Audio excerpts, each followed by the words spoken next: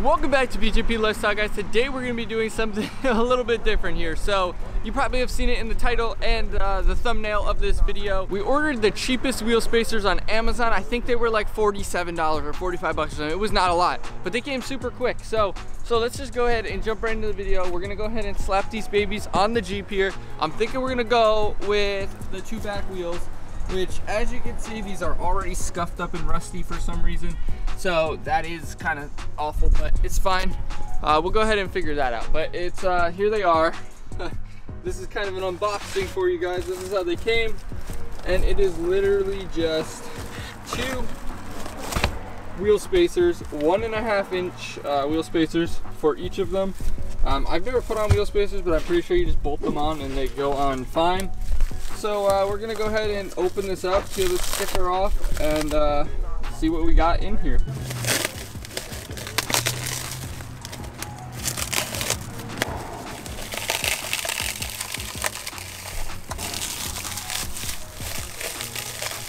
So I guess this is what we're working with, guys. We got some bolts on here, which I believe these just bolt onto the thing.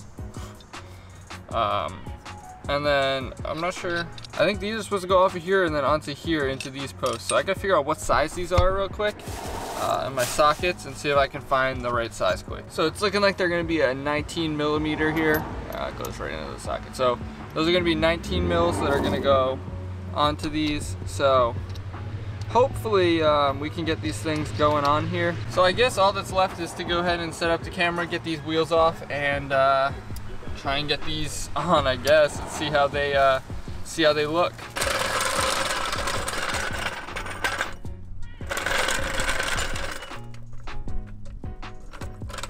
If you guys did not watch my other video and you don't know the trick, you go ahead and grab a Walmart plastic bag and slap it around your uh, protective socket on your breaker bar here and you can get the wheels off with the black lugs without damaging them or to an extent. For most of them it worked. For this one, I, I messed up on this one when I first did it, so it's a little messed up. But we're gonna go ahead and break this free, jack it up, take the wheel off, slap these babies on, see what it's gonna look like.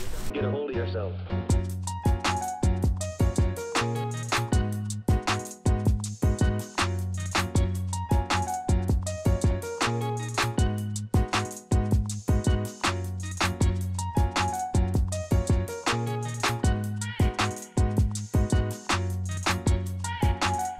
Now I'm pretty sure we're just gonna pop these babies on. Uh, I just wanna make sure that these, yep, they do in fact. It's kind of windy out. It looks like it's gonna rain, so hopefully I can beat the weather and get this done. All right, so this is supposed to slide on like this. Nice flat fit.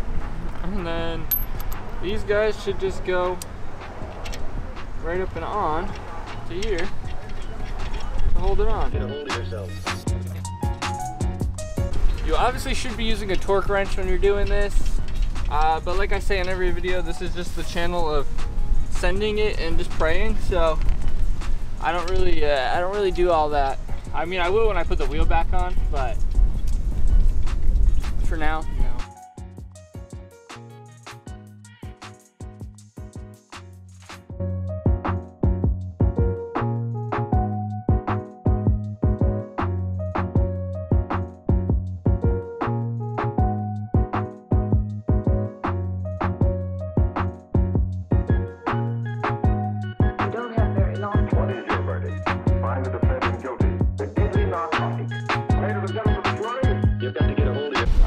can slap the wheel back on. So this is what it's looking like so far with the spacer on. Uh, it's gonna push it out quite a bit, so let's see how funny this looks.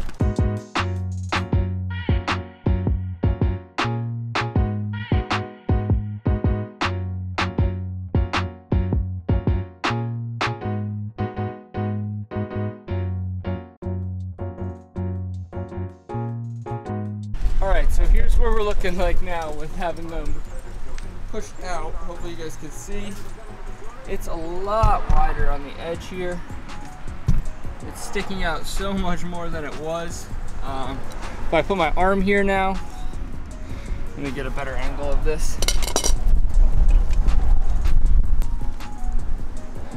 If I put my arm here, if I put my arm here now, you can see it's pretty much flush.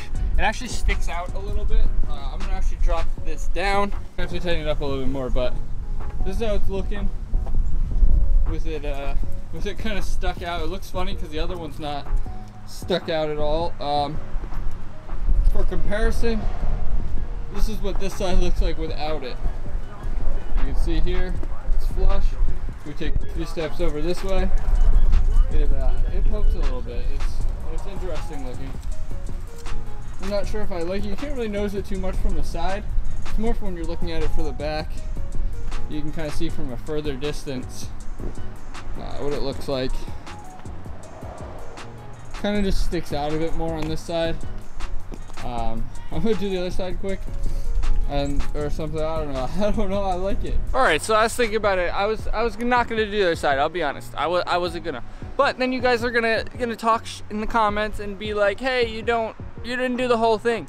So how are you gonna do a video on it or do a review on it? So I'm gonna do the other side just for the video, just for you guys, even though it's absolutely gross out and the weather just looks like it's gonna get worse. But we're gonna go ahead and bang out the other side so I can do an actual full review for you guys, or like a full video on the cheapest Amazon wheel spacers, I guess. So, uh, yeah, let me just bang out the other side super quick. We're, we're gonna do it. Let's just let's just get to it.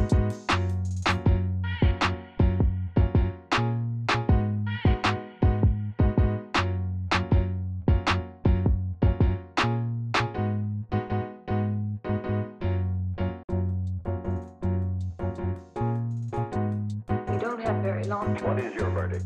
Find the defendant guilty. The deadly narcotic. Ladies and gentlemen of the jury, You've got to get a hold of yourself.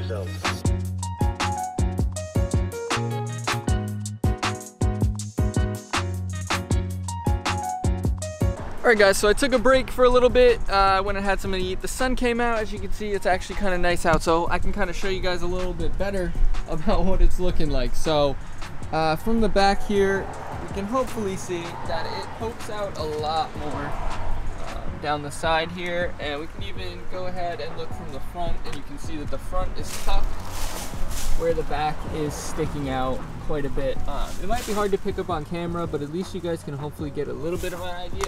Um, it does stick out a little bit past the, the fender well here. Um, I don't know if you guys can really see. It's- Like I said, it's hard to see on camera, but it does stick out a little bit more past the uh, liner there.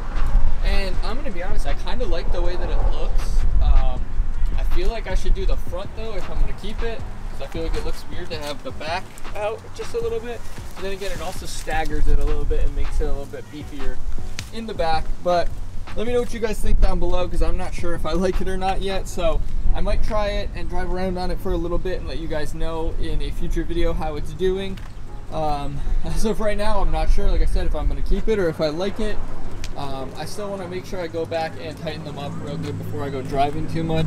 Um, these are torqued on, but I'm just not sure about the other ones because I didn't torque those on yet because I went to go eat and stuff like that. It was gross out, thought it was going to rain.